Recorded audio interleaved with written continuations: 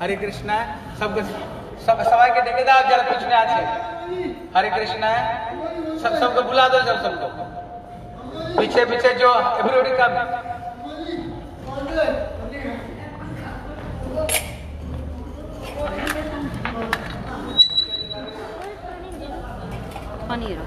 हरे कृष्णा, हरि बोल, तुम तुम लोग के साथ मुझे लोग उनको बुला दो। ये शादी के बोल, जल्दी जल्दी जल्दी जल्दी बुला दो। अरे, जल्दी जल्दी उनको बुला दो पीछे। बोलो बोलो, जल्दी जल्दी आते मंदिर बंद हो गया। हरे कृष्ण, बस जाओ, घर, बस जाओ। एवरीबॉडी सीट डाउन ओम अज्ञानतिमिरान्धस्य ज्ञानाञ्जन शलाकया चक्षुरुन्मिलितं येन तस्मै श्रीगुरवे नमः। बस जाओ। पञ्चाकल्पतरुभ्यश्च कृपा सिन्धुभैव च पावनेभ्यो वैष्णवेभ्यो नमो नमः। ऐ केशव सचिदा जाओ कृष्ण भक्ति प्रद देवी सत्यवतई नमो नमः। श्री कृष्ण चैतन्य प्रभु श्री अद्वैत गदाधर श्रीवासादि। गौर भक्त वृंद। सब एक बार हाथ उठा कर बोलो। बोलो, हरे कृष्ण हरे कृष्ण कृष्ण कृष्ण, हरे हरे हरे राम हरे राम राम और बार ज़ोर करे बोलो। बोलो, हरे कृष्ण हरे कृष्ण कृष्ण कृष्ण, हरे हरे हरे राम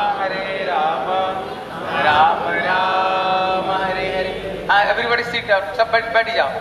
हम लोग गुरु वैष्णव के अनुगत्य में श्री ब्रजमंडल परिक्रमा कर रहे थे, लेकिन ब्रजमंडल परिक्रमा करते करते अभी जहाँ पर आए हैं, ये स्थान का नाम जयपुर है। जो जयपुर में जितने हमारे गौड़ीय वैष्णव का ठाकुर है, और भी दूसरे दूसरे जितने सारे ठाकुर, ये सब के सब वृंदावन छोड़ करके आ गए। कहाँ आ गए? बोले सबके सब जयपुरी में आ गए। इसलिए अभी जिस मंदिर दर्शन करने के लिए हम आए हैं, ये ठाकुर जी का नाम है राधा माधव। क्या नाम है? ज़ोर से बोला। राधा माधव। भैया, हमारे घर में भी तो ठाकुर है। हमारे घर में ठाकुर है कि नहीं? फिर हम इतना दूर से वृंदावन छोड़ करके फिर इत- इतना दूर सवेरे सवेरे चार बजे कोई लगता है कि इसको रात भर नींद नहीं आती होगी। सवेरे सवेरे बस जा करके सीट में बैठना, है? किस किसको नींद नहीं है। फिर ये लोग इतने कष्ट करके, फिर हम लोग इतने दूर फिर क्यों आए? वहाँ पर भी तो ठाकुर है ना। लेकिन फिर यहाँ पर क्यों दर्शन करने के लिए आए? इसलिए शास्त्र में बताया। बांगाली मायरा से बुझते पारছেন तो हिंदी।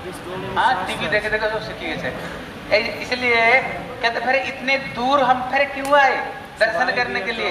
हमारे घर में भी तो ठाकुर है लेकिन शास्त्र कहता है जतो महतवीर प्रतिष्ठित जो ठाकुर जितने बड़े महापुरुष को द्वारा स्थापित किया जाती है वो ठाकुर का उतना ही महत्व है। कहते भैया ये ठाकुर जी किसको द्वारा प्रतिष्ठित हुए बोले श्री कवि जयदेव। क्या नाम उनका है? कवि जयदेव। बहुत बड़े ये रसिक भक्त हुए। इनकी जो रस ग्रंथ है जैसे गीत गोविंद इनका रचयिता श्री गीत गोविंद ग्रंथ जिसने रचना किया। अद्भुत ग्रंथ है रस का चरम। श्री चैतन्य महाप्रभु जब श्री जगन्नाथपुरी में गंभीरा में रहते थे गंभीरा में रहते समय महाप्रभु इनकी ग्रंथों को पढ़ करके राधा माधव की खुला की खुला नहीं स्क्रीन खुल गया। खुल खुल गया ठाकुर जी? ये खुला नहीं ठीक है, दो दो मिनट बैठ जाओ, दो मिनट बैठ जाओ हरि हरि, हरे कृष्णा, सब बैठ जाओ, दो मिनट बैठ जाओ, उसके बाद में दर्शन करना। हरि बोल, ए, सब बैठ जाओ, दो मिनट बैठ जाओ। हरे कृष्णा। इसलिए कहते श्री, ये कवि जयदेव गोस्वामी को द्वारा ये स्थापित विग्रह है।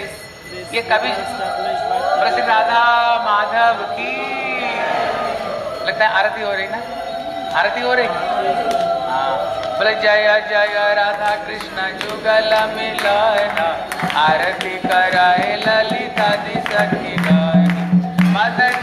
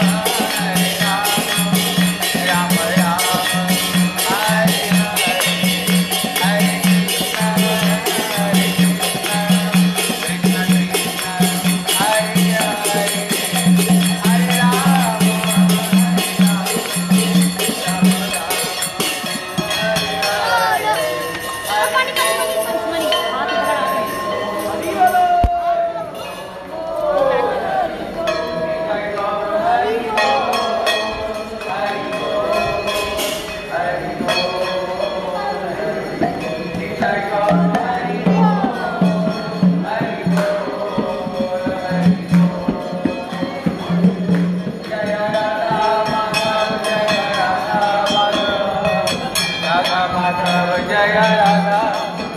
जय राधा माधव, जय राधा माधव।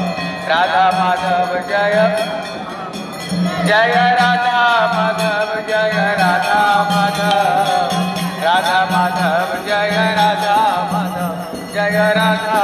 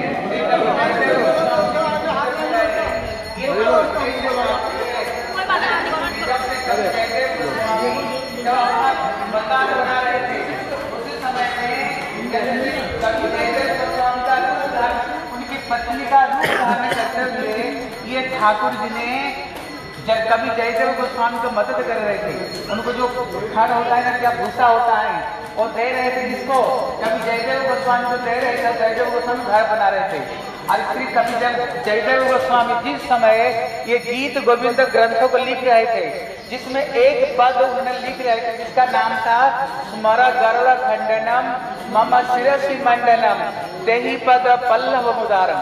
जब ये पद को लिख रहे थे, अभी कभी जयदेव गोस्वामी तो चक्कर में पड़े गए।